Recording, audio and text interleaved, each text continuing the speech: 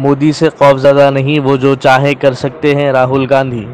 National Herald case में ED की तहकीकात का सामना करने वाले कांग्रेस लीडर राहुल गांधी ने जुमेरात को कहा कि वो मोदी हुकूमत से डरने वाले नहीं हैं। राहुल गांधी ने अपने घर के बाहर मीडिया से बात करते हुए कहा, हम भागेंगे नहीं और ना ही मोदी से डरते हैं।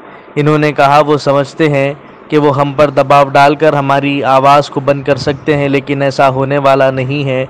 मोदी जी और अमित शाह जो कुछ कर रहे हैं, वो जमहूरीत के ख़िलाफ़ है। राहुल गांधी ने जुमेरात को पार्लियामेंट में कांग्रेस के अरकान पार्लियामेंट की मीटिंग को छोड़ दिया। इन्फोर्समेंट डायरेक्टरेट के हेराल्ड हाउस को सील करने के बाद कांग्रेस ने मीटिंग बुलाई थी। कांग्रेस ने हुक्मरान निज़ाम पर अपोजिशन लीडरों के साथ दहशतगर्द जैसा सलूक करने का भी इल्ज़ाम लगाया।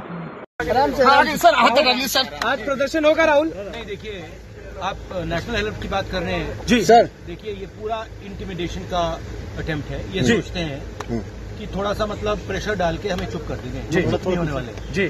जो इस देश में नरेंद्र मोदी जी अमित शाह जी कर रहे हैं लोकतंत्र के खिलाफ उसके खिलाफ हम खड़े रहेंगे चाहे कुछ भी कर। सर बीजेपी कह रहे हैं कि रण छोड़ने भी नहीं देंगे और भागने भी नहीं देंगे। मतलब बीजेपी संबित पात्रा कह रहे हैं कि भागने नहीं कर देंगे और रण की बात कर रही है लड़ाई की बात कर रही है कांग्रेस पार्टी। भागने की कौन बात कर रहा है? भागने की वो बात कर रहे हैं। देखिए सुनिए बात। जी। हम इंटिमिडेट नहीं होंगे। हम नरेंद्र मोदी से नहीं डरते हैं।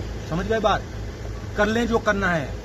कुछ फ़र्क नहीं पड़ेगा। राहुल जी राहुल जी। बोलने दीजिए। जी, जी। जो मेरा काम है देश की रक्षा करना लोकतंत्र की रक्षा करना देश में जो हारमोनी है उसको मेंटेन करना वो मैं करता रहूँ जी, ये जी। कुछ भी कर ले करने राहुल ईडी कह रही है कि शेल कंपनीज़ का यूज़ हुआ